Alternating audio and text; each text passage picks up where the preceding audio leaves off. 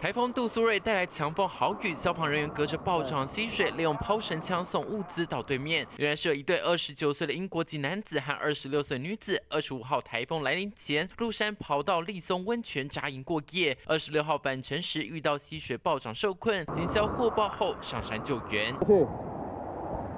但也因为溪水水势过于湍急，就让人员无法渡河。为了避免受困情侣失温体力不支，消防人先把粮食和保温物资送到对岸，等水势趋缓后再渡河救援。也所幸受困情侣并没有生命危险，但因为台东县政府早在二十五号就公告山区管制进入，冒风雨泡汤的情侣恐怕还会被开罚五万到二十五万元以下的罚款。而另一头花莲玉里则是有民众家里的家具全泡汤。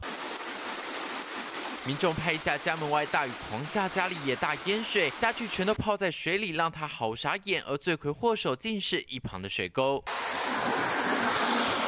因为水沟还没完工，大量雨水就从水沟缺口处不断流出，一路淹进了一旁的民宅内。后来厂商赶紧先堵住缺口，所幸目前淹水已经退去，民众也赶紧清理家园，但就怕杜苏芮带来的强势风月，恐怕短时间内还不会结束。记者综合报道。